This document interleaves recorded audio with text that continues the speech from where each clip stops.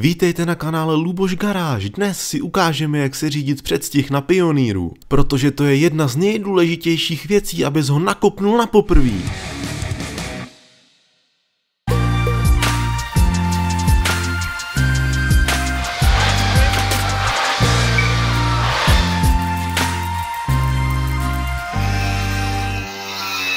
Tak a pomalu se dáme do práce. Způsobu, jak nastavit předstih, je několik. Já vám ukážu svůj způsob a vy mi pak do komentářů můžete napsat, jak to děláte vy, nebo jestli já to dělám špatně, protože nikdo není dokonalý. Na začátek si probereme několik málo problémů, na které můžete narazit při kompletaci zapalování u těchto strojů. Jeden z problémů, na který můžete narazit u těchto zapalování, je ten, že máme dva druhy zapalování, 20W a 30W.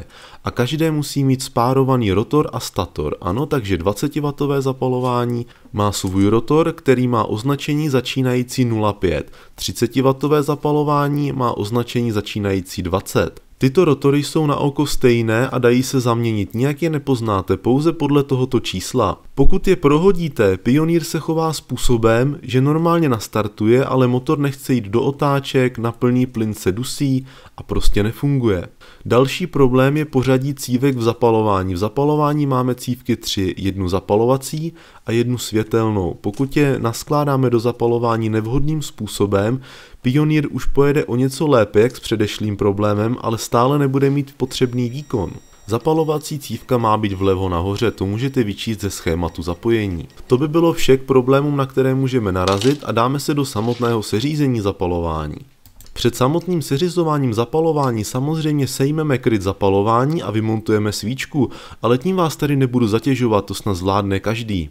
Při seřizování předstihu zážehu pracujeme s dvěma parametry, jeden je odtrh a druhý je předstih. Začneme se řízením odtrhu, který má být 0,4 mm.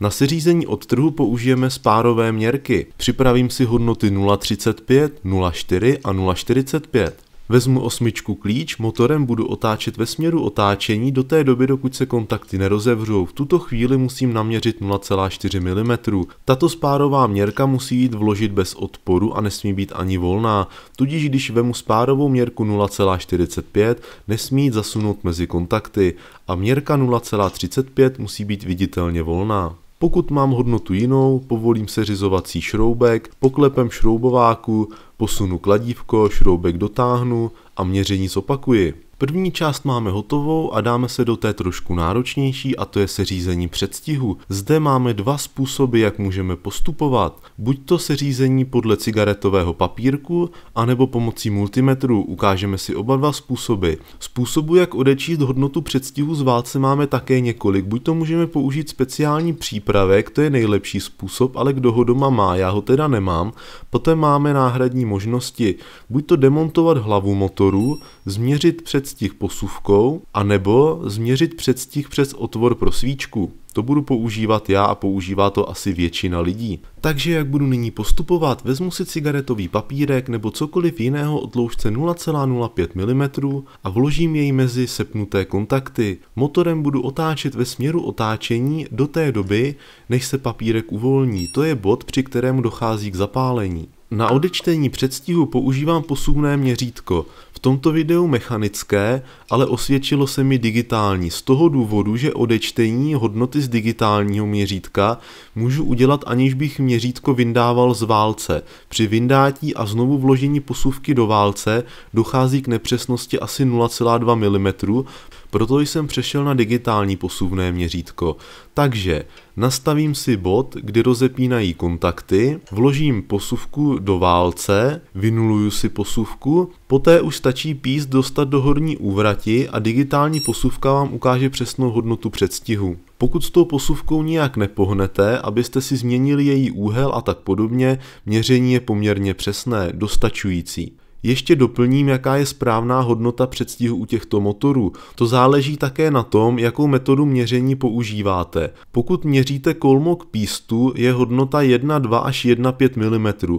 Pokud máte posuvku skloněnou šikmo pod úhlem, jakým je v hlavě motoru svíčka, je hodnota vyšší. Je asi 1,4 až 1,8 mm. To je případ, který používám já. Vždy se snažím nějakou střední hodnotu 1,6 mm a motor vždy funguje jak má. Nyní si probereme ještě druhý způsob, jak zjistit, kdy nám zapalování zapaluje a to je použití digitálního multimetru, který si nastavíme na měření hodnoty ohmu, 200 ohmu, nebudeme používat bzučák na měření obvodu. Ten bychom mohli použít v případě, že bychom kladívko odpojovali, ale kdo by se tam s tím prznil s těma šroubkama, že jo, pak ti vypadají podložky a nebudeš je tam moc dostat zpátky. Takže si měření provedeme v obvodu a vysvětlíme si jak na to. Pokud je kladívko sepnuté, v ideálním případě by si měl na multimetru vidět nulu, 0 ohmu, ale jelikož svět není ideální, ani tvůj multimetr není ideální a jeho vodiče, dráty mají nějaký odpor, takže si je můžeš změřit. Většinou to bývá okolo 0,3-0,5 ohmů. Takže tuto hodnotu uvidíš, když změříš sepnuté kladívko. Když budeš měřit kladívko rozepnuté, na měřáku uvidíš hodnotu okolo 1 ohmu, což je odpor indukční cívky. Vždy bych doporučil odpojit si zapalovací cívku na magnetu, ta je na fastonu, není to nějaký problém a rozdíl v odporu mezi sepnutým kladívkem a rozepnutým kladívkem bude o to větší.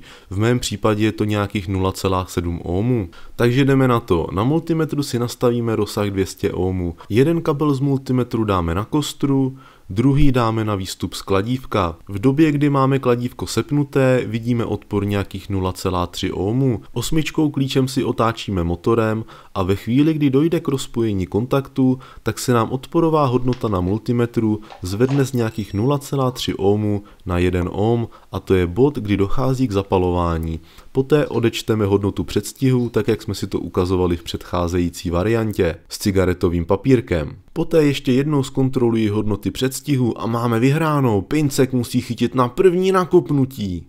Tak jo, tohle už by bylo pro toto video všechno. Já doufám, že co jsem vám tady chtěl říci, že bylo dostatečně srozumitelné a že jsem neřekl nějakou fatální hloupost, za kterou se budu muset v budoucnu stydět. Pokud ano, napiš mi do komentářů, oprav mě, ale prosím slušně, buďte na mě hodní, jsme lidi a všichni děláme nějaké ty chyby, že jo? No a pokud se ti líbí moje tvorba a chceš další porci této potravy, tak rozhodně víš, co máš dělat. Follow me. Ano, přesně tak, já vám děkuji za pozornost, zase někdy příště naschledanou a kdo má rád i fotky, ať sleduje Instagram Luboš Garáž.